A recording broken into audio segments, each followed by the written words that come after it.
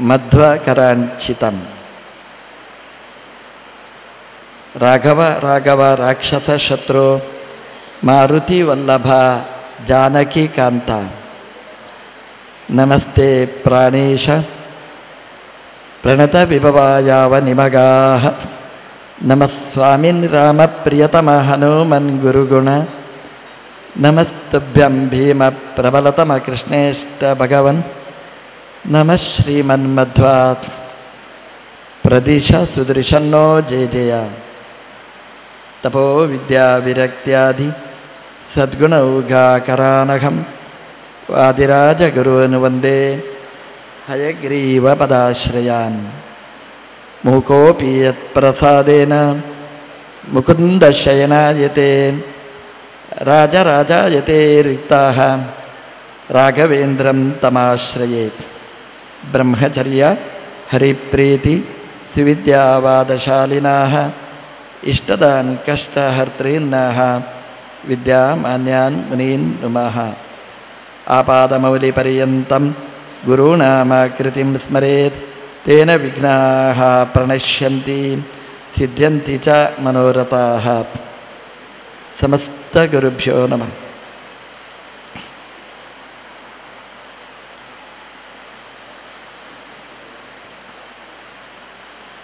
ಎರಡು ಗದ್ಯಗಳು. ಒಂದು ಪ್ರಾತಃಸಂಕಲ್ಪ ಗದ್ಯ, ಒಂದು ಸರ್ವಸಮರ್ಪಣ ಗದ್ಯ. ಇದು ಎರಡೂ ರಾಯರೇ ಮಾಡಿತ್ತು ಮಾಡಿದ್ದು ಅಂತಂದರೆ ನಮಗೆ ಹೇಳಲಿಕ್ಕೋಸ್ಕರ ಅಲ್ಲ. ಅವರು ಅನುಷ್ಠಾನ ಮಾಡಿ ಅದರಲ್ಲಿ ಸಿದ್ಧಿ ಪಡೆದವರು. ಅದರ ಅನುಭವವನ್ನು ಪಡೆದವರು. ಸಾಮಾನ್ಯವಾಗಿ ಹೇಳಲಿಕ್ಕೆ ಅಂತ ಒಂದಿರ್ತದೆ, ಅನುಷ್ಠಾನಕ್ಕೆ ಅಂತ ಒಂದಿರ್ತದೆ. ನಾವು ಹೇಳುವುದೊಂದು, ಮಾಡುವುದು ಮತ್ತೊಂದು. ಅನುಷ್ಠಾನ ಬೇರೆ, ಹೇಳುವುದು ಬೇರೆ. ಅದು ಪರಿಣಾಮಕಾರಿ ಆಗುವುದಿಲ್ಲ ರಾಯರು ಸ್ತೋತ್ರ ಏನು ಮಾಡಿದ್ದಾರೆ, ಅದನ್ನು ಅನುಷ್ಠಾನ ಮಾಡಿದ್ದಾರೆ, ಅದನ್ನು ಸಿದ್ಧಿ ಮಾಡಿಕೊಂಡಿದ್ದಾರೆ, ಅದನ್ನು ನಮ್ಮ ಮುಂದೆ ಪ್ರಸ್ತುತಪಡಿಸ್ತಾರೆ ರಾಯರು ಹೇಳ್ತಾರೆ, ನಾವು ಮಾಡುವ ಕರ್ಮ, ಸಂಕಲ್ಪ, ಸಮರ್ಪಣೆ ಎರಡರಿಂದ ಯುಕ್ತವಾಗಿರ್ತದೆ ಅಂತ, ಯುಕ್ತವಾಗಿರಬೇಕು ಅಂತ. ನಮ್ಮ ಜೀವನನೇ ಒಂದು ದೇವರ ಪೂಜೆ. ನಾವು ಏನು ಮಾಡ್ತೇವೆ ಅದೇ ಒಂದು ದೇವರ ಪೂಜೆ. ಹಾಗಾಗಿ ಹಾಗೆ ಅನುಸಂಧಾನ ಮಾಡಬೇಕು. ಅನುಸಂಧಾನ ಇಲ್ಲದಿದ್ದರೆ ದೇವರ ಪೂಜೆನೂ ಪೂಜೆ ಆಗುವುದಿಲ್ಲ. ಅನುಸಂಧಾನ ಇದ್ದರೆ ಅರ್ಜುನ ಮಾಡಿದ ಯುದ್ಧನೂ ಒಂದು ದೇವರ ಪೂಜೆ ಆಯಿತು. ಹೊಡೆಯುವುದು ಬಡಿಯುವುದು ದೇವರ ಪೂಜೆ ಆಯಿತು.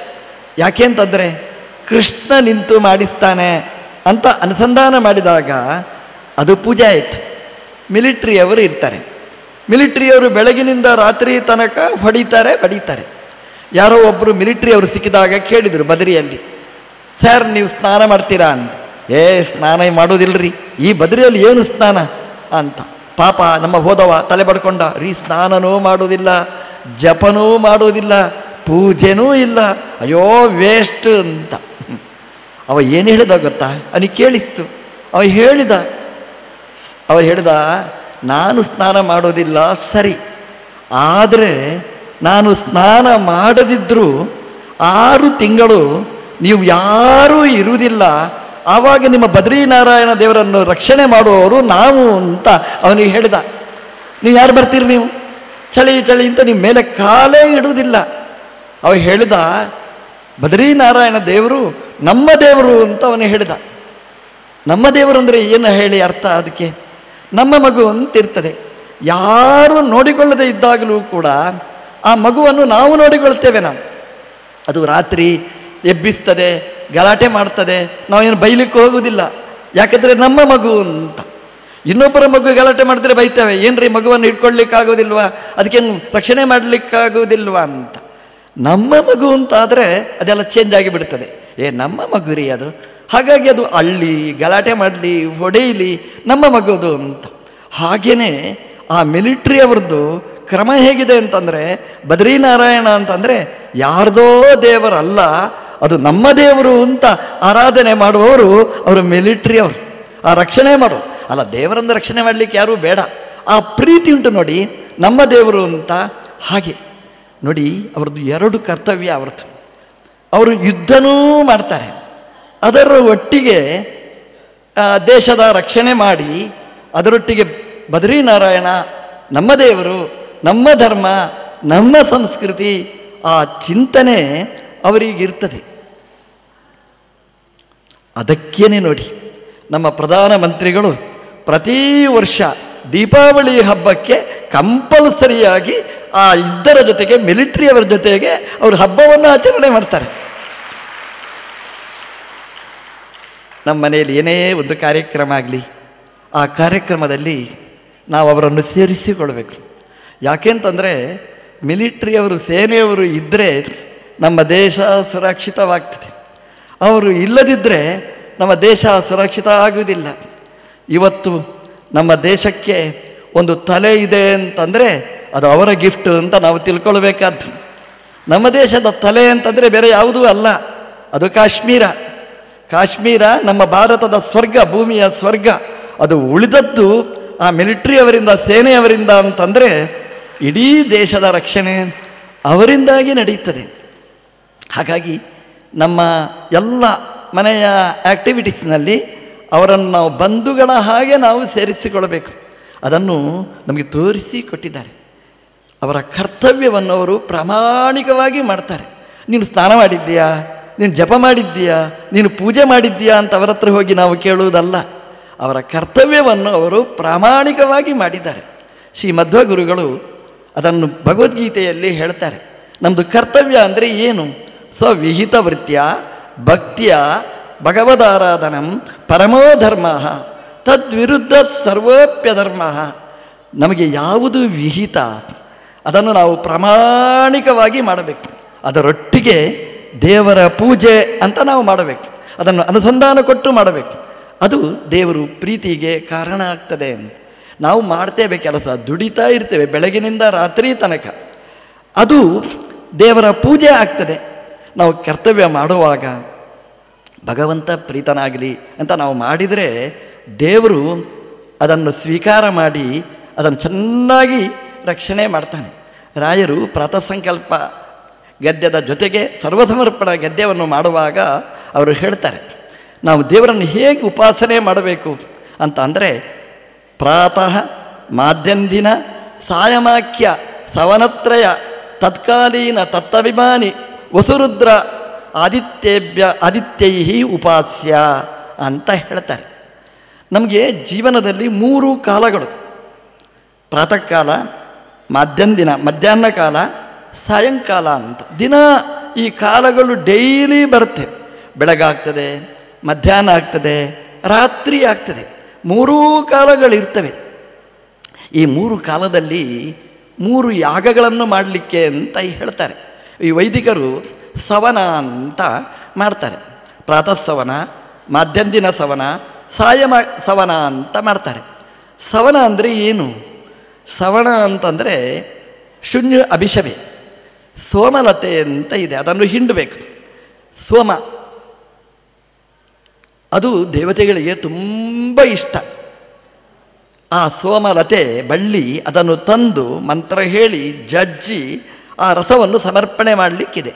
ಅದು ಬೆಳಗಿನ ಕಾಲ, ಮಧ್ಯಾಹ್ನದ ಕಾಲ, ಸಾಯಂಕಾಲ ಅಂತ ಮೂರು ಸವನಗಳು ಅಂತಿದೆ. ರಾಯರು ಹೇಳ್ತಾರೆ, ವೈದಿಕರು ಆ ಸವನ ಮಾಡಲಿ, ಮೂರು ಸವನಗಳನ್ನು ಮಾಡಲಿ. ನಾವೂ ಮಾಡಬೇಕಾದ್ದು ಮೂರು ಸವನಗಳು ಅಂತ. ಬೆಳಗ್ಗೆ, ಮಧ್ಯಾಹ್ನ, ರಾತ್ರಿ ಅಂತ. ಸವನ ಅಂದರೆ ಏನು? ಸೋಮಲತೆಯನ್ನು ಹಿಂಡಬೇಕು ಅಂತ. ಇದಕ್ಕೆ ಮಧ್ವಗುರುಗಳು ವ್ಯಾಖ್ಯಾನ ಮಾಡಿದ್ದಾರೆ. ಸೋಮ ಅಂದರೆ ಏನು? ಋಗ್ಭಾಷ್ಯದಲ್ಲಿ ಹೇಳ್ತಾರೆ, ಸೋಮವನ್ನು ಸಮರ್ಪಣೆ ಮಾಡಿ, ಸೋಮ ಸಮರ್ಪಣೆ ಮಾಡಿ ಅಂತ ಹೇಳ್ತಾರೆ. ಸೋಮ ಅಂತಂದರೆ, ಭಕ್ತ್ಯಾದ್ಯಲಂಕೃತಂ ಮನಃ, ಸೋಮ ಇತ್ಯುಚ್ಯತೆ ಅಂತ ಹೇಳ್ತಾರೆ. ಸೋಮ ಅಂದರೆ ನಮ್ಮ ಈ ಪಿಂಡಾಂಡದಲ್ಲಿ, ನಮ್ಮ ಶರೀರದಲ್ಲಿ ಸೋಮ ಅಂತಂದರೆ ಅದು ಮನಸ್ಸು. ಸೋಮಲತೆಗೆ ಅಭಿಮಾನಿ ಚಂದ್ರ. ನಮ್ಮ ಮನಸ್ಸಿಗೂ ಅಭಿಮಾನಿ ಚಂದ್ರ. ಅದು ಹೌದು ನೋಡಿ. ಈ ಅಮಾವಾಸ್ಯೆ, ಹುಣ್ಣಿಮೆ ಒಂಥರ ಮನಸ್ಸಿಗೆ ವಿಕಾರ ಆಗುತ್ತೆ. ಆ ಚಂದ್ರನಿಂದಾಗಿ ಆ ಮನಸ್ಸಿನ ಮೇಲೆ ತುಂಬ ಪ್ರಭಾವ ಬೀರ್ತದೆ. ಈ ಸ್ವಲ್ಪ ತಲೆ ಸರಿ ಇಲ್ಲದಿದ್ದವರಿಗೆ ಈ ಅಮಾವಾಸ್ಯೆ ಬಂದಾಗ, ಹುಣ್ಣಿಮೆ ಬಂದಾಗ ತುಂಬ ವಿಕಾರಗಳಾಗ್ತವೆ. ಮನಸ್ಸಿನ ಮೇಲೆ ಚಂದ್ರನ ಪ್ರಭಾವ ತುಂಬ ಇರ್ತದೆ. ಹಾಗಾಗಿ ರಾತ್ರಿಕಾಲ ಚಂದ್ರೋದಯ ಕಾಲ ಆವಾಗ ಮನಸ್ಸು ವಿಕೃತವಾಗ್ತದೆ. ಸೋಮ ಅಂದರೆ ಚಂದ್ರ, ಆ ಸೋಮಲತೆಗೂ ಅಭಿಮಾನಿ, ನಮ್ಮ ಮನಸ್ಸಿಗೂ ಅಭಿಮಾನಿ. ಹಾಗಾಗಿ ಸೋಮ ಹಿಂಡಬೇಕು ಅಂದರೆ ನಮ್ಮ ಮನಸ್ಸನ್ನು ಹಿಂಡಬೇಕಂತೆ.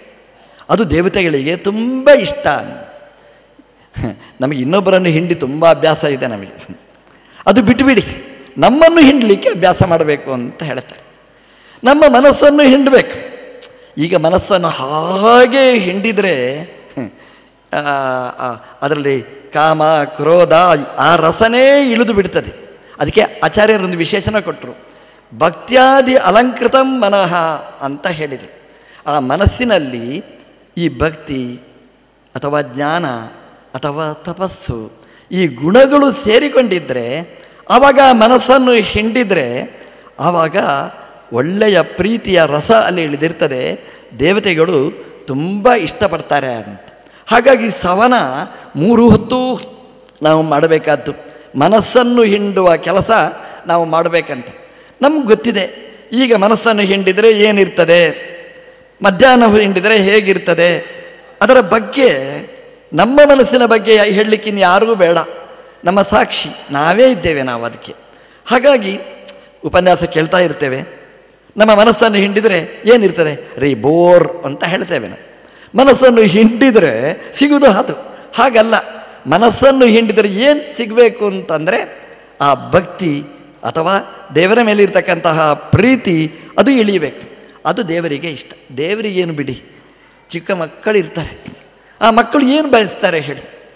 ಏನೂ ಬಯಸುವುದಿಲ್ಲ. ಒಂದೇ ಆ ಪ್ರೀತಿಯನ್ನು ಬಯಸ್ತಾರೆ. ಅಮ್ಮ ಮಗುವಿನ ಹತ್ರ ಮಾತಾಡ್ತಾ ಇರ್ತಾಳೆ. ಯಾರೋ ಒಬ್ಬರು ಬಂದರು ಅಂತ ಇಟ್ಕೊಳ್ಳಿ. ಭಾಳ ಬೇಕಾದವರು. ಮಗುವನ್ನು ಹಾಗೇ ಇಟ್ಕೊಂಡಿರ್ತಾಳೆ, ಬಂದವರ ಹತ್ರ ಮಾತಾಡ್ತಾ ಇರ್ತಾಳೆ. ಆ ಮಗು ಗಲಾಟೆ ಮಾಡ್ತದೆ. ಅಮ್ಮನ ಕೆನ್ನೆಗೆ ಹೊಡೆಯುತ್ತದೆ.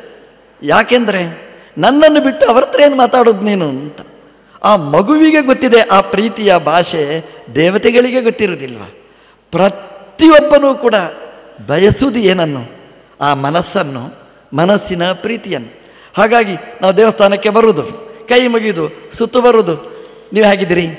ಯಾವಾಗ ಬಂದ್ರಿ? ಒಂದು ಪಕ್ಕದವಲ್ಲಿ ಮಾತಾಡಿದರೆ ನಮ್ಮ ದೇವರು ಏನು ಅಂದ್ಕೊಳ್ತಾನೆ?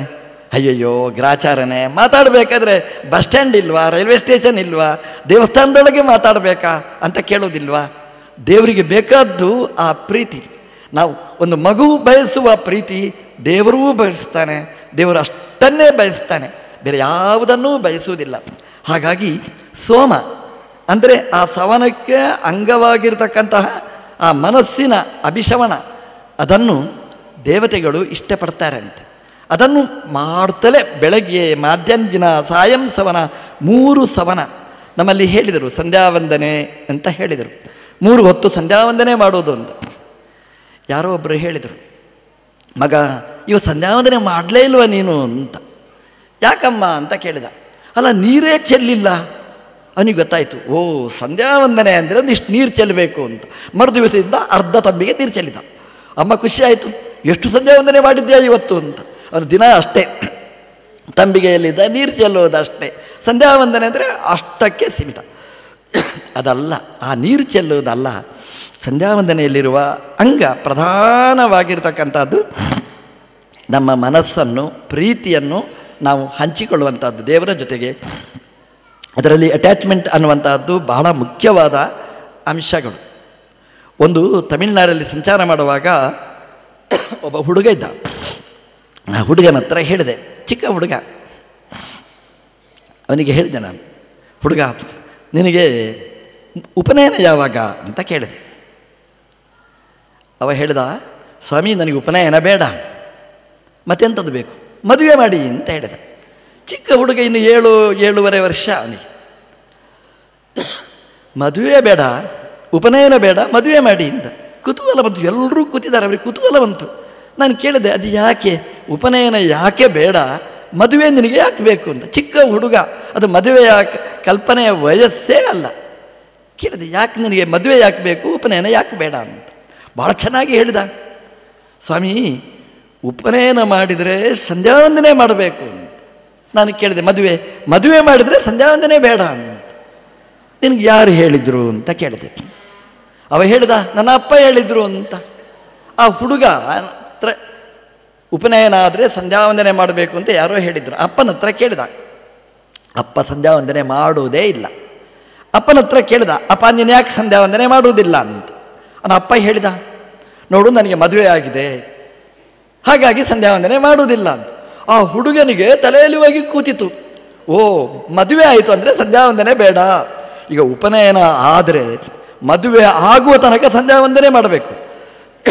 ಮೊದಲೇ ಉಪನಯನಕ್ಕಿಂತ ಮುಂಚೆ ಮದುವೆನೇ ಮಾಡಿಬಿಟ್ರೆ ಸಂಧ್ಯಾವಂದನೆಯ ಪ್ರಾಬ್ಲಮೇ ಇಲ್ಲ, ಸಂಧ್ಯಾವಂದನೆ ಕ್ಯಾನ್ಸರ್ ನೋಡಿ, ನಾವು ಮಕ್ಕಳಿಗೆ ತಮಾಷೆಗೋಸ್ಕರ ನಾವು ಹೇಳ್ತೇವೆ, ಆದರೆ ಮಕ್ಕಳದನ್ನು ಗ್ರಹಿಸ್ತಾರೆ.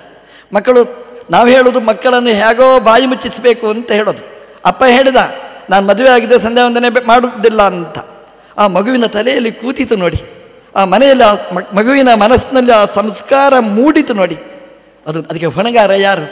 ಅಪ್ಪ, ಅಮ್ಮ ಆಗ್ತಾನೆ. ಅವನಿಗೆ ಶ್ರದ್ಧೆ ಇರಲಿ ಬಿಡಲಿ. ಮಕ್ಕಳಿಗೋಸ್ಕರ ಆದರೂ ಅವನು ಸಂಧ್ಯಾವಂದನೆ ಮಾಡಬೇಕು. ಮಕ್ಕಳಿಗೋಸ್ಕರ ಹೇಳಬೇಕಾದ್ದು ಅವನ ಕರ್ತವ್ಯದಲ್ಲಿ ಸೇರಿದ್ದು. ದೊಡ್ಡವರು ಮಾಡಿದರೆ ಮಕ್ಕಳದನ್ನು ಅನುಷ್ಠಾನ ಮಾಡ್ತಾನೆ. ಹೇಳ್ತಾರೆ, ವಸುರುದ್ರ ಆದಿತ್ಯ ಉಪಾಸ್ಯ. ದೊಡ್ಡವರು ದೇವತೆಗಳೇ ಭಗವಂತನನ್ನು ಉಪಾಸನೆ ಮಾಡ್ತಾರಂತೆ. ಅವರು ಮಾಡಿ ನಮಗೆ ಅನುಷ್ಠಾನ ಮಾಡಲಿಕ್ಕೆ ಬೇಕಾದ ಮಾರ್ಗದರ್ಶನ ಮಾಡ್ತಾರಂತೆ. ನಾವು ನಾವು ಮಾಡಬೇಕು, ನಮ್ಮ ಕೃತಿಯಿಂದ ಮಕ್ಕಳು ನೋಡಬೇಕು, ನೋಡಿದರೆ ಮಕ್ಕಳು ಇದನ್ನು ಅನುಷ್ಠಾನ ಮಾಡ್ತಾರೆ. ನಮ್ಮ ದೊಡ್ಡ ಸೌಭಾಗ್ಯ ನೋಡಿ. ಎಷ್ಟು ದೊಡ್ಡ ಸೌಭಾಗ್ಯ ಅಂತಂದರೆ, ನಮ್ಮ ಒಂದು ಕಾಲ ಇತ್ತು. ತಂದೆ, ತಾಯಿ ಅವರನ್ನೆಲ್ಲ ಉಪೇಕ್ಷೆ ಮಾಡುವ ಕಾಲ ಇತ್ತು. ಇವತ್ತು ಹಾಗಲ್ಲ. ತಂದೆ, ತಾಯಿಗಳಿಗೆಲ್ಲ ನಮಸ್ಕಾರ ಮಾಡುವ ಕಾಲಘಟ್ಟದಲ್ಲಿ ನಾವಿದ್ದೇವೆ. ಇವತ್ತು ಮಂತ್ರಿಗಳೆಲ್ಲ ಇರ್ತಾರೆ. ಮಂತ್ರಿಗಳಾದವರು ತಂದೆ ತಾಯಿಗೆ ನಮಸ್ಕಾರ ಮಾಡ್ತಾರೆ. ಯಾಕೆ ಹೇಳಿ? ನಮ್ಮ ಪ್ರಧಾನಮಂತ್ರಿಗಳು ಹುಟ್ಟುಹಬ್ಬ ಬಂತು ಅಂತಂದರೆ ಗುಜರಾತಿಗೆ ಹೋಗಿ ತನ್ನ ತಾಯಿಯ ಪಕ್ಕದಲ್ಲಿ ಕೂತು ತಾಯಿಗೆ ನಮಸ್ಕಾರ ಮಾಡ್ತಾ ಇದ್ದಾರೆ. ಆ ತಾಯಿಗೆ ನಮಸ್ಕಾರ ಮಾಡೋದನ್ನು ನೋಡಿ ಅವರ ಸಂಪುಟದಲ್ಲಿದ್ದವರೆಲ್ಲ ಪ್ರಭಾವಕ್ಕೆ ಒಳಗಾಗ್ತಾರೆ. ಅವರೆಲ್ಲ ಜನ್ಮ ನಕ್ಷತ್ರ ಬಂತು ಹುಟ್ಟುಹಬ್ಬ ಬಂತು, ಬೋರ್ಡ್ ಹಾಕುವುದಲ್ಲ. ಮನೆಗೆ ಹೋಗಿ ತಾಯಿಯ ಜೊತೆಗೆ ಆ ಹಬ್ಬವನ್ನು ಹಂಚಿಕೊಳ್ತಾರೆ. ತಾಯಿಗೆ ತಿಂಡಿ ತಿನ್ನಿಸ್ತಾರೆ. ತಾಯಿಗೆ ನಮಸ್ಕಾರ ಮಾಡ್ತಾರೆ. ತಂದೆಗೆ ನಮಸ್ಕಾರ ಮಾಡ್ತಾರೆ. ಈ ಪದ್ಧತಿ ಬೆಳೆದು ಬಂತು ನೋಡಿ. ಯದ್ಯದ ಆಚರತಿ ಶ್ರೇಷ್ಠ, ತತ್ತದೇವ ಇತರೋ ಜನ, ಸ ಯತ್ ಪ್ರಮಾಣ ಕುರುತೆ ಲೋಕಸ್ತದನ್ನು ಬರ್ತದೆ ದೊಡ್ಡವರು ಏನು ಮಾಡ್ತಾರೆ, ಅದನ್ನು ಚಿಕ್ಕವರೂ ಅನುಷ್ಠಾನ ಮಾಡ್ತಾರೆ. ಹಾಗಾಗಿ ಪ್ರಧಾನಮಂತ್ರಿಗಳೇ ಹೋಗಿ ತಾಯಿಗೆ ನಮಸ್ಕಾರ ಮಾಡಿದರೆ ಉಳಿದವರು ಸುಮ್ಮನಿರ್ಲಿಕ್ಕಾಗುತ್ತಾ? ಎಲ್ಲರೂ ಒಪ್ಪಿಕೊಂಡ್ರು. ನಮಗೆ ನಾಯಕ ಎಂಥವರು ಸಿಗಬೇಕು ಅಂತಂದರೆ ಅಪ್ಪ ಅಮ್ಮನಿಗೆ ನಮಸ್ಕಾರ ಮಾಡತಕ್ಕಂತಹ ಪ್ರಧಾನಮಂತ್ರಿಗಳು ನಮಗೆ ಯಾವಾಗಲೂ ಪರ್ಮನೆಂಟಾಗಿ ನಮಗೆ ಸಿಕ್ಕಿದರೆ ನಮ್ಮ ದೇಶಕ್ಕೆ ಎಂತಹ ಸಂಸ್ಕೃತಿ ಎಂತಹ ಮಾರ್ಗದರ್ಶನ, ಎಷ್ಟು ಸಿಗಲಿಕ್ಕೆ ಸಾಧ್ಯ ಅಂಥವರು ಬೇಕು ನಮಗೆ. ಹಾಗಾಗಿ ಈ ಸಲ ನಮಗೆ ನಮ್ಮ ಮುಂದೆ ಇದೆ. ಯಾರು ಪ್ರಧಾನಮಂತ್ರಿಗಳಾಗಬೇಕು ಯಾರಾಗಬೇಕು, ಬೀಗದ ಕೈ ನಮ್ಮ ಕೈಯಲ್ಲಿದೆ. ಹಾಗಾಗಿ ಈಗಲೇ ನಾವು ಆಲೋಚನೆ ಮಾಡಬೇಕಾದ್ದು ಅಪ್ಪ ಅಮ್ಮನಿಗೆ ನಮಸ್ಕಾರ ಮಾಡುವ ಸಂಸ್ಕೃತಿ ಸಂಪನ್ನರಾದವರು, ಅಮ್ಮನಿಗೆ ದೇಹಾಂತ್ಯದಲ್ಲಿ ಸಂಸ್ಕಾರ ಕೊಡತಕ್ಕಂಥವರು, ಪ್ರಧಾನಮಂತ್ರಿಗಳು ಬೇಕು ಅಂತ ಈಗ ತೀರ್ಮಾನ ಮಾಡಿದರೆ ರೈಟ್ ಟೈಮ್ ನಮಗೆ ಇಂತಹ ಪ್ರಧಾನಮಂತ್ರಿಗಳು ಪರ್ಮನೆಂಟ್ ಆಗಿ ಸಿಕ್ಕಿದರೆ ನಮ್ಮ ಸಂಸ್ಕೃತಿಗಳು ಅದು ಸುರಕ್ಷಿತವಾಗಿ ಉಳಿಲಿಕ್ಕೆ ಅದು ಸಾಧ್ಯ. ಒಂದು ಕಾಲ ಇತ್ತು. ಎಂಥ ಕಾಲ ಇತ್ತು ಅಂತಂದರೆ ನಮ್ಮ ದೇಶಕ್ಕೆ ಯಾರಾದರೂ ಬಂದರೆ ಅವ್ರನ್ನೆಲ್ಲಿ ಕರ್ಕೊಂಡು ಹೋಗಬೇಕು? ತಾಜಾಮಲ್ ನೋಡಲಿಕ್ಕೆ ಕರ್ಕೊಂಡು ಹೋಗೋದು. ಫ್ಯಾಷನ್ ಅದು. ಯಾರೇ ಬರಲಿ, ಇಲ್ಲಿ ಭಾರತದ ಪ್ರೇಕ್ಷಣೀಯವಾದ ಜಾಗ ಯಾವುದು ಅಂತ ಅಂದರೆ ತಾಜ್ ಮಹಲ್ ನೋಡಲಿಕ್ಕೆ ಕರ್ಕೊಂಡು ಹೋಗೋದು. ಇವತ್ತು ಚೇಂಜ್ ಆಗಿದೆ ನೋಡಿ. ಯಾರೇ ಒಬ್ಬರು ಬರಲಿ, ಯಾರೇ ಒಬ್ಬ ಗೆಸ್ಟ್ ಬಂದರೆ ಈ ಸಲ ಕರ್ಕೊಂಡು ಹೋಗೋದು ತಾಜ್ ಈಗಲ್ಲ ತಾಜಾ ಮಹಲ್, ಕಾಶಿಗೆ, ಅಯೋಧ್ಯಕ್ಕೆ ಕರ್ಕೊಂಡು ಹೋಗುತ್ತೆ. ಆ ಕಾಲಘಟ್ಟದಲ್ಲಿ ನಾವು ಇವತ್ತಿದ್ದೇವೆ ನಾವು. ಹಾಗಿರಬೇಕು. ನಮ್ಮ ಭಾರತ ದೇಶದ ಸಂಸ್ಕೃತಿ ಅಂತಂದರೆ ದೇವಸ್ಥಾನಗಳು, ದೇವರುಗಳು, ಸಂಸ್ಕೃತಿ, ಸಂಸ್ಕಾರವನ್ನು ಕೊಡತಕ್ಕಂತಹ ಕೇಂದ್ರಗಳು. ಹಾಗಾಗಬೇಕು ನೋಡಿ. ಹಾಗೆ ಇವತ್ತು ಅಯೋಧ್ಯೆ ಹೇಗೆ ಚಿತ್ರಿತವಾಗಿದೆ ಅಂತಂದರೆ, ಅಯೋಧ್ಯೆ ಅಂತಂದರೆ ಒಂದು ಕಾಲ ಇತ್ತು. ಎಲ್ಲಿಯಾದರೂ ಗಲಾಟೆ ಆಗಿದ್ದರೆ ಅಲ್ಲಿ ಏನು ನಡೀತದೆ ಅಂತ ಕೇಳಿದರೆ ಅದು ಅಯೋಧ್ಯೆ ಅಂತ ಹೇಳುವ ಕಾಲ ಇತ್ತು. ಎಲ್ಲಿಯಾದರೂ ಗಲಾಟೆ ಆದರೆ ಅದು ಅಯೋಧ್ಯೆ ಅಂತ. ಇವತ್ತು ಯಾವ ಕಾಲಘಟ್ಟದಲ್ಲಿ ಇದ್ದೇವೆ ಅಂತಂದರೆ, ಎಲ್ಲಿಯಾದರೂ ಒಂದು ನ್ಯಾಯ ಇದೆ ಅಂತಂದರೆ, ಅದು ಅಯೋಧ್ಯೆ ಅನ್ನುವ ಕಾಲಘಟ್ಟದಲ್ಲಿ ನಾವು ಇವತ್ತು ಇದ್ದೇವೆ. ಯುದ್ಧ, ಜಗಳ, ಹೋರಾಟ, ಕೀರಾಟ, ಎಲ್ಲಿಲ್ಲ, ಶಾಂತಿ ಇರ್ತದೆ. ಅದು ಅಂಥದ್ದು ನಮಗೆ ಆಗಬೇಕಾದ್ದು ಇಂತಹ ಸಂಸ್ಕಾರಗಳನ್ನು ಕೊಡ್ತಕ್ಕಂಥವ್ರು ನಮಗೆ ಬರಬೇಕು. ಒಂದು ಕಾಲಘಟ್ಟ ಇತ್ತು. ಯಾರೇ ಒಳಗೆ ಬರಲಿ, ಎಲ್ಲ ಶೂ ಹಾಕ್ಕೊಂಡು ಬರತಕ್ಕಂತಹ ಕಾಲಘಟ್ಟ ಇತ್ತು. ಇವತ್ತು ಹೇಗೆ ಅಂತಂದರೆ, ಆ, ಇಪ್ಪತ್ತು ಜಿ ಕಾರ್ಯಕ್ರಮ ನಡೆಯಿತು ನೋಡಿ. ಆವಾಗ ಎಲ್ಲ ಗೆಸ್ಟ್ಗಳು ಬಂದರು. ನಮ್ಮ ಪ್ರಧಾನಮಂತ್ರಿಗಳು ದೇವಸ್ಥಾನಕ್ಕೆ ಕರ್ಕೊಂಡು ಹೋದರು. ದೇವಸ್ಥಾನಕ್ಕೆ ಕರ್ಕೊಂಡು ಹೋದರೆ ಪ್ರಧಾನಮಂತ್ರಿಗಳೇ ಶೂ ಬಿಚ್ಚಿ ಇಟ್ಟರು ಒಳಗೆ ಹೋದರು. ಬಂದ ಎಲ್ಲ ಗೆಸ್ಟ್ಗಳು ಶೂ ಬಿಚ್ಚಿದರೂ ಹೋದರು. ಜೀವಮಾನದಲ್ಲಿ ಶೂ ಬಿಚ್ಚಿದವರಲ್ಲ. ಅವರನ್ನು ಬಿಚ್ಚಿಸಿದ ಕೀರ್ತಿ ನಮ್ಮ ದೇಶಕ್ಕಿದೆ. ನಮ್ಮ ದೇಶ ಅಂತ ಒಳ್ಳೆಯ ಸಂಸ್ಕೃತಿಯನ್ನು ನೀಡಿರ್ತಕ್ಕಂಥದ್ದು. ಹಾಗಾಗಿ ಹಿರಿಯರು ಏನು ಮಾಡ್ತಾರೆ? ಅದನ್ನು ಮುಂದಿನವರು ಅನುಷ್ಠಾನ ಮಾಡಿಕೊಂಡು ಬರ್ತಾರೆ. ರಾಯರು ಅದನ್ನು ತಾನು ಅನುಷ್ಠಾನ ಮಾಡಿ ಗದ್ಯವನ್ನು ಕೊಟ್ಟರು ಕೊಡುವಾಗ ಹೇಳ್ತಾರೆ, ಈ ಉಪಾಸನೆ, ಪ್ರಾತಃಸವನ, ಮಾಧ್ಯಂದಿನ ಸವನ, ಸಾಯಂ ಸವನ, ಇದು ನಾವು ಮಾಡುವುದಲ್ಲ, ಅದರಲ್ಲಿ ತತ್ತತ್ಕಾಲ ಪ್ರಾಪ್ತ, ತತ್ತತ್ಕಾಲ ನಿಯಾಮಕ, ತತ್ತತ್ಕಾಲಾಭಿಮಾನಿ ವಸುರುದ್ರ ಆದಿತ್ಯ ಉಪಾಸ್ಯ. ವಸುಗಳು ರುದ್ರರು, ಆದಿತ್ಯರು ಭಗವಂತನನ್ನು ಉಪಾಸನೆ ಮಾಡ್ತಾರೆ ನಮಗೆ ದೊಡ್ಡ ಜನಜಂಗುಳಿ ಇದೆ ಅಂತ ಇಟ್ಕೊಳ್ಳಿ. ನಾವೂ ಹೋಗ್ತೇವೆ. ಯಾರೂ ಹೋಗಲಿಲ್ಲ. ನಾವು ಹೋಗೋದಿಲ್ಲ. ನಮ್ಮದೊಂದು ಫ್ಯಾಷನ್ ಆಗಿದೆ. ನೂರು ಜನ ಹೋದರು ಅಂದರೆ ನಾವಲ್ಲಿ ಹೋಗ್ತೇವೆ. ಯಾರೂ ಹೋಗಲಿಲ್ಲ ಅಂದರೆ ಹೋಗುವುದಿಲ್ಲ ದೊಡ್ಡವರು ಯಾರಾದರೂ ಹೋದರು ಅಂತಂದರೆ, ಹೌದಾ? ನಾವು ಹೋಗಬೇಕು. ಅದನ್ನು ನೋಡಬೇಕು ಅಂತ ನಮಗೆ ಅನಿಸ್ತದೆ. ಪ್ರಧಾನಮಂತ್ರಿಗಳು ಹೋಗಿದ್ದಾರೆ ಆ ಜಾಗಕ್ಕೆ. ಹಾಗಾದರೆ ನಾವು ಹೋಗಿ ನೋಡಿ ಬರೋಣ ಅಂತ ನಾವು ಹೇಳ್ತೇವೆ ನಾವು. ಅಯೋಧ್ಯೆಗೆ ಪ್ರಧಾನಮಂತ್ರಿಗಳೇ ಹೋಗಿ ಪೂಜೆ ಮಾಡಿದ್ದಾರೆ. ನಾವು ಹೋಗೋಣ ಅಂತ. ಅದಕ್ಕೆ ರಾಯರು ಹೇಳ್ತಾರೆ, ವಸುರುದ್ರ ಆದಿತ್ಯ ಉಪಾಸ್ಯ. ವಸುದೇವತೆಗಳು, ರುದ್ರದೇವತರು, ಆದಿತ್ಯರು ಆ ಕಾಲದಲ್ಲಿ ಭಗವಂತನಿಗೆ ಉಪಾಸನೆ ಮಾಡ್ತಾರೆ. ಮೂರು ಕಾಲವನ್ನು ವಿಭಾಗ ಮಾಡಿ, ಆ ಮೂರು ಕಾಲದಲ್ಲಿಯೂ ಕೂಡ ದೇವತೆಗಳು ಮಾಡುವ ಸವನ, ಆ ದೇವತೆಗಳು ಮಾಡುವ ಆರಾಧನೆ, ಹಾಗೆ ನಾವೂ ಕೂಡ ಮೂರೂ ಕಾಲದಲ್ಲಿ ಒಟ್ಟಿಗೆ ಅಖಂಡವಾಗಿ ಮಾಡಬೇಕು. ಕೊನೆಗೆ ಮೂರು ಕಾಲದಲ್ಲಿ ಆದರೂ ಭಗವಂತನ ಆರಾಧನೆ ಮಾಡಬೇಕು. ಅದನ್ನು ಅಂತಹ ಆರಾಧನೆಯನ್ನು ಸ್ವೀಕರಿಸುವ ಭಗವಂತನನ್ನು ಸಂಬೋಧನೆ ಮಾಡಿ ಈ ಕರ್ಮ ನಿನಗೆ ಈ ಚಾಂದೋಗ್ಯೋಪನಿಷತ್ತಿನಲ್ಲಿ ಇದರ ವಿಶ್ಲೇಷಣೆ ವಿವರಣೆಗಳಿವೆ. ಪ್ರಾತಃ ಸವನ ಮಾಧ್ಯಂದಿನ ಸವನ ಸಾಯಂ ಸವನ ಮೂರಿದೆ. ಇದು ಒಂದು ದಿನಕ್ಕೆ ಮಾತ್ರ ಅಲ್ಲ. ಇಡೀ ಜೀವನಕ್ಕೆ ಇದನ್ನು ವಿಭಾಗ ಮಾಡಿ ಹೇಳಿದ್ದಾರೆ. ಬಾಲ್ಯ ನಮ್ಮ ಪ್ರಾತಃಸವನ, ಯೌವನ ಮಾಧ್ಯಂದಿನ ಸವನ, ಕೊನೆಯ ವಾರ್ಧಕ ಅದು ಸಾಯಂ ಸವನ ಅಂತ. ನಮ್ಮಲ್ಲಿ ಹೇಳೋದುಂಟು ನೋಡಿ, ವಯಸ್ಸಾಯಿತು ಅಂತಂದರೆ, ಓ, ಇನ್ನೂ ಇಳಿಲಿಕ್ಕಾಯಿತು ಅಂತ. ಸಾಯಂ, ಸಾಯಂಕಾಲ ಜೀವನದ್ದು ಅಂತ ಉಪನಿಷತ್ತಿನಲ್ಲಿ. ಹಾಗೆ ವಿಭಾಗ ಮಾಡಿದ್ದಾರೆ. ಉಪನಿಷತ್ತು ಭಾಳ ಚೆನ್ನಾಗಿ ಹೇಳಿದೆ. ಇಪ್ಪತ್ನಾಲ್ಕು ವರ್ಷ ಅದು ಪ್ರಾತಃಕಾಲ ನಮ್ಮ ಜೀವನದಲ್ಲಿ.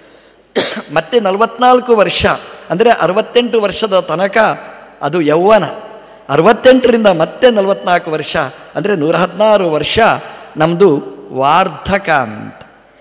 ಹಾಗಾಗಿ ಬಾಲ್ಯ ಪ್ರಾತಃಸವನ ಯೌವನ ಮಾಧ್ಯಂದಿನ ಸವನ, ಸಾಯಂಕಾಲ, ಅಂದರೆ ಕೊನೆಯ ತನಕ ಆಯುಷ್ಯದ ತನಕ ಅದು ಸಾಯಂ ಸವನ ಒಟ್ಟು ಏನು ಹೇಳ್ತಾರೆ ಇದರಲ್ಲಿ ಅಂತಂದರೆ, ಇಡೀ ನಮ್ಮ ಜೀವನ ಇದೊಂದು ಯಜ್ಞ.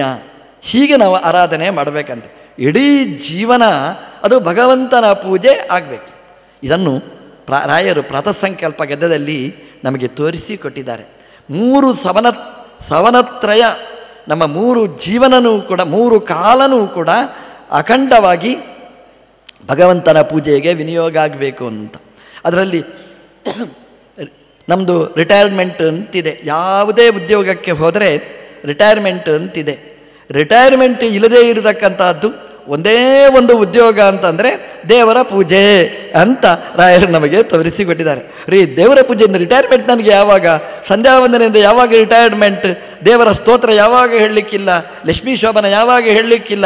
ರಿಟೈರ್ಮೆಂಟ್ ಉಂಟಾ ಅಂತ ಕೇಳಿದರೆ ಪ್ರಾತಃ ಸವನ ಮಾಧ್ಯಂದಿನ ಸವನ, ಸಾಯಂ ಸವನ ಅಂತ ಮೂರು ಸವನಗಳನ್ನು ಉಲ್ಲೇಖ ಮಾಡಿ ಆ ನೂರ ಹದಿನಾರನೇ ವರ್ಷದ ತನಕನೂ ಕೂಡ ಅಖಂಡವಾಗಿ ನಾವು ದೇವರ ಪೂಜೆ ಸವನ ಅಂತ ಹೀಗೆ ನಾವು ಮಾಡಬೇಕು ಅಂತ. ನೋಡಿ, ಇದು ದೊಡ್ಡವರು ಹೇಳುವುದು. ಬರೀ ಹೇಳುವುದು ಮಾತ್ರ ಅಲ್ಲ, ಅವರ ಅನುಷ್ಠಾನದಲ್ಲಿ ಇದೆ. ಒಂಥರ ನೀವು ಆಲೋಚನೆ ಮಾಡಿ. ರಾಯರ ಬಗ್ಗೆ ನಿಮಗೆ ಗೊತ್ತು. ವಾದಿರಾಜರು, ರಾಯರು. ರಾಯರ ಜೀವನ ಹೇಗಿತ್ತು ಅಂತಂದರೆ ಜೀವನ ಇಡೀ ಸುಮ್ಮನೆ ಇದ್ದವರಲ್ಲ. ನೋಡಿ, ಅವರ ಜೀವನದಲ್ಲಿ ಅವರು ಪವಾಡಗಳನ್ನು ತೋರಿಸಿದ್ದಾರೆ. ಅವರ ಜೀವನದಲ್ಲಿ ಗ್ರಂಥಗಳನ್ನು ಬರೆದಿದ್ದಾರೆ. ಅವರ ಜೀವನದಲ್ಲಿ ಸಂಚಾರ ಮಾಡಿದ್ದಾರೆ. ಇವತ್ತಿನ ಹಾಗೆ ಹೆಲಿಕಾಪ್ಟರ್ ಎಲ್ಲ ಇರುವ ಕಾಲ ಅಲ್ಲ. ಅವರು ನಡ್ಕೊಂಡು ಸಂಚಾರ ಮಾಡುವ ಕಾಲ. ರಾಯರು ಯಾವುದೂ ಬಿಡಲಿಲ್ಲ. ಪಾಠ ಪ್ರವಚನ ಮಾಡಿದ್ದಾರೆ ರಾಯರು. ರಾಯರು ಪೂಜೆಗಳನ್ನು ಮಾಡಿದ್ದಾರೆ. ರಾಯರು ಜನರ ಜೊತೆಗೆ ಸೇರಿದ್ದಾರೆ. ಜನರ ಆಗು ಹೋಗುಗಳಲ್ಲಿ ಭಾಗವಹಿಸಿದ್ದಾರೆ. ನೋಡಿ, ಇದೆಲ್ಲ ಎಷ್ಟು ಹೇಗೆ ಮಾಡಿದರು ರಾಯರು? ಅಲ್ಪ ಜೀವಿತದಲ್ಲಿ ಅವರು ಮಾಡಿದ ಐವತ್ತೊಂದಕ್ಕೂ ಹೆಚ್ಚಿನ ಗ್ರಂಥಗಳು ನಿರ್ಮಾಣ ಮಾಡಿದ್ದಾರೆ. ಇದು ಇದು ಯಾವಾಗ ಬರೆದರು? ಒಂದ್ಸಲ ನೀವು ಆಲೋಚನೆ ಮಾಡಿ. ಬೆಳಗ್ಗೆ ಇಡೀ ಪೂಜೆ, ಪಾಠ, ಪ್ರವಚನ ಆಯಿತು. ಮತ್ತು ಯಾವಾಗ ಬರೀಬೇಕು? ರಾತ್ರಿಯಲ್ಲಿ ಗ್ರಂಥ ಬರೀಬೇಕು. ರಾಯರ ಜೀವನ ಅಂದರೆ ಹಾಗೆ. ರಾತ್ರಿಯನ್ನು ವೇಸ್ಟ್ ಮಾಡಲಿಲ್ಲ ಅವರು. ರಾತ್ರಿಯಲ್ಲಿಯೂ ಕೂಡ ಗ್ರಂಥ ಬರೆದವರು. ನಿದ್ರೆ ಅಲ್ಪ ಎಚ್ಚರ, ತುಂಬ. ಅವರ ಜೀವಿತದಲ್ಲಿ ನಿದ್ರೆ ಮಾಡಿದ್ದು ಕಡಿಮೆ ಎಚ್ಚರದಲ್ಲಿದ್ದದ್ದೇ ಜಾಸ್ತಿ. ಹಾಗಾಗಿ ಇವತ್ತು ಇಡೀ ಪ್ರಪಂಚ ರಾಯರ ಬಗ್ಗೆ ಎಚ್ಚೆತ್ತುಕೊಂಡಿದೆ ಯಾಕೆ ಅಂತಂದರೆ ಅವರ ಜೀವನನೇ ಒಂದು ಇಡೀ ಜಗತ್ತನ್ನು ಎಚ್ಚೆತ್ತುಕೊಳ್ಳುವ ಹಾಗೆ ಅವರು ಮಾಡಿದ್ದಾರೆ. ಅವರ ಆ ಗ್ರಂಥ ಬರೆಯುವುದು ರಾತ್ರಿ ಕಾಲದಲ್ಲಿ, ಅಂದರೆ ರಾತ್ರಿಯನ್ನು ವೇಸ್ಟ್ ಮಾಡಲಿಲ್ಲ. ನಾವು ನಿದ್ದೆ ಬಾರದಿದ್ದರೂ ಚಾಪೆಯಲ್ಲಿ ಬಿದ್ದು ಹೊರಲಾಡ್ತೇವೆ ಅಯ್ಯೋ, ನಿದ್ದೆ ಬರೋದಿಲ್ಲರಿ ಏನು ಮಾಡೋದು ಏನು ಮಾಡೋದು? ಮತ್ತೆ ಚಾನಲ್ ಓಪನ್ ಮಾಡೋದು ಒದ್ದಾಡ್ತಾ ಇರೋದು ನಾವು. ರಾಯರದು ಚಾನಲೇ ಬೇರೆ. ಅವರು ರಾತ್ರಿ ನಿದ್ದೆ ಬರಲಿಲ್ಲ ಅಂದರೆ ಪುಸ್ತಕ ಹಿಡ್ಕೊಂಡು ಬರಿತಾ ಇದ್ದರು ಎಂತಹ ಅದ್ಭುತವಾದ ಗ್ರಂಥಗಳು. ಜನಸಾಮಾನ್ಯಕ್ಕೆ ಮುಟ್ಟುವ ಗ್ರಂಥಗಳು. ವಿದ್ವಾಂಸರು ತಲೆಕೆಡಿಸಿಕೊಳ್ಳುವ ಗ್ರಂಥಗಳು. ಹೀಗೆ ರಾಯರು ಜೀವನ ಇಡೀ ತನ್ನ ಸಾಧನೆಯನ್ನು ನಡೆಸಿದವರು. ನೋಡಿ, ಅವರ ಜೀವಿತ ಹೇಗೆ ಅಂತಂದರೆ ಗೊತ್ತಿಲ್ಲದೆ ರಾಯರು ಹೋದರು ಸಾಮಾನ್ಯವಾಗಿ ನಮಗೆ ಹೇಗೆ ಅಂತಂದರೆ, ನಮಗೆ ಯಾವಾಗ ಹೋಗ್ತೇವೆ, ಯಾವಾಗ ಇರ್ತೇವೆ ನಮಗೇನೇ ಗೊತ್ತಿಲ್ಲ. ರಾಯರ್ದು ಹಾಗೆಲ್ಲ ನೋಡಿ ಜೀವನ. ಹೇಗಿತ್ತು ಅಂತಂದರೆ, ಅವರ ಎಲ್ಲ ಇಂದ್ರಿಯಗಳು ಚೆನ್ನಾಗಿರುವಾಗ, ಎಲ್ಲ ಜ್ಞಾನಗಳು ಸರಿಯಾಗಿರುವಾಗ, ಅವರೇ ಶಿಷ್ಯರಿಗೆ ಹೇಳಿ, ತಾನೇ ಆರಿಸಿ ಕಲ್ಲನ್ನು ತಯಾರು ಮಾಡಿ, ವೃಂದಾವನ ತಯಾರು ಮಾಡಿದರು. ಒಂದು ವೃಂದಾವನ ತಂದರು, ಇದು ಬೇಡ ಅಂತ ಹೇಳಿದರು. ಇನ್ನೊಂದು ವೃಂದಾವನ ತಂದರು ಇಟ್ಟರು ಮೊದಲನೇದು ಬೇಡ ಹೇಳಿದರು ಎರಡನೇದು ಬೇಕು ಅಂತ ಹೇಳಿದರು.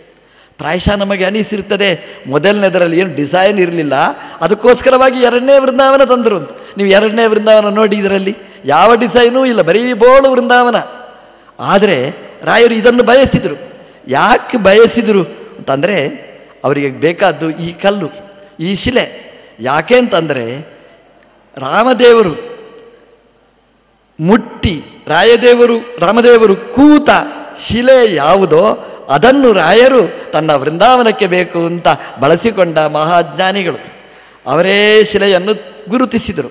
ಗುರುತಿಸಿ ಶಿಷ್ಯರಿಗೆ ಹೇಳಿದರು, ತಾನು ಬದುಕಿರುವಾಗಲೇ ವೃಂದಾವನದೊಳಗೆ ಪ್ರವೇಶ ಮಾಡಿ ಅವರು ಶಿಲೆಯನ್ನು ತಲೆ ಮೇ, ತಲೆಯ ಮೇಲೆ ಇಡುವ ಹಾಗೆ ಹೇಳಿದ್ರು. ನೋಡಿ, ಇದು ಜೀವನ, ಇದು ಪಾಠ. ಪ್ರಾತಃ ಸವನ ಮಾಧ್ಯಂದಿನ ಸವನ ಸಾಯಂ ಸವನ ಆ ಕೊನೆಯ ಸವನದ ತನಕನೂ ಕೂಡ ಅವರು ಸಾಧನೆಯನ್ನು ಮಾಡಿ ಭಗವಂತನನ್ನು ಪೂಜೆ ಮಾಡಿದವರು ರಾಯರು. ಅವರು ಹೇಳ್ತಾರೆ, ಜೀವನ ಇಡೀ ನಮ್ಮದು ಪೂಜೆ ಆಗಬೇಕು ಅಂತ ಹೇಳಿದ ರಾಯರು ಜೀವನದಲ್ಲಿ ಅದನ್ನು ತೋರಿಸಿ ಕೊಟ್ಟಿದ್ದಾರೆ. ಇವತ್ತು ಸಾಮಾನ್ಯವಾಗಿ ನೂರ ಹದಿನಾರು ವರ್ಷ ನಮಗೆ. ಆದರೆ ರಾಯರು ನೂರ ಹದಿನಾರು ಅಲ್ಲ ಅಂತ ಅದು ನಾಲ್ಕು ಸಲ ಇವತ್ತು ಸಂದಿದೆ. ಆದರೂ ರಾಯರು ಇವತ್ತೂ ಜೀವಂತವಾಗಿ, ಸಾಧಕವಾಗಿ ಸಾಧನೆಯನ್ನು ಮಾಡಿ ಮಂತ್ರಾಲಯದಿಂದ ದಾವಣಗೆರೆ ತನಕ ಧಾವಿಸಿಕೊಂಡು ಬಂದು ನಮಗಿಷ್ಟು ಅನುಗ್ರಹ ಮಾಡಿದ್ದಾರೆ ಅಂತಂದರೆ ಆ ರಾಯರ ಸಾಧನೆ ತಪಸ್ಸು ಇದು ಪ್ರಾತಃ ಸವನ ಮಾಧ್ಯಂದಿನ ಸವನ, ಸಾಯಂ ಸವನ, ಅದರಲ್ಲಿ ಉಪಾಸನೆ ಮಾಡುವ ಕ್ರಮ, ಅದರಲ್ಲಿ ವಸುರುದ್ರಾದಿತ್ಯರಿಂದ ಉಪಾಸ್ಯರವಾದ ಆ ವೈಭವವನ್ನು ರಾಯರು ನಮಗೆ ತೋರಿಸಿಕೊಟ್ಟಿದ್ದಾರೆ ಈ ಪ್ರಾತಃ ಸಂಕಲ್ಪ ಗದ್ಯದ ಜೊತೆಗೆ ಈ ಸರ್ವಸಮರ್ಪಣ ಗದ್ಯದಲ್ಲಿ ಎಲ್ಲವನ್ನೂ ಭಗವಂತನಿಗೆ ಸಮರ್ಪಣೆ ಮಾಡಬೇಕು ಅಂತ ತೋರಿಸಿಕೊಟ್ಟ ಈ ಕೃತಿ ಕೊನೆ ಪಕ್ಷ ನಮಗೆ ಅನುಷ್ಠಾನ ಮಾಡಲಿಕ್ಕಾಗದಿದ್ದರೂ ಇದನ್ನು ಪಾರಾಯಣ ಆದರೂ ಮಾಡುವ ಮಾಡುವ ಸಂಕಲ್ಪ ಆದರೂ ಮಾಡೋಣ ಅಂತ ಹೇಳ್ತಾ ಈ ಪ್ರವಚನವನ್ನು ಕೃಷ್ಣಾರ್ಪಣ ಮಾಡ್ತೀನಿ.